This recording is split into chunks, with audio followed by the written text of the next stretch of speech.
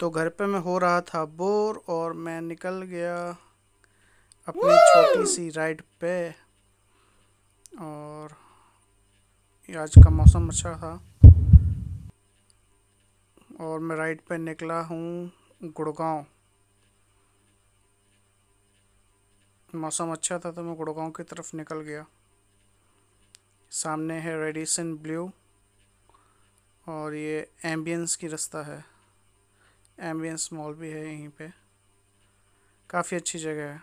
ऑफे में पहुँच गया था। ऑफ़िस जो कि मैं रोज़ जाता हूँ।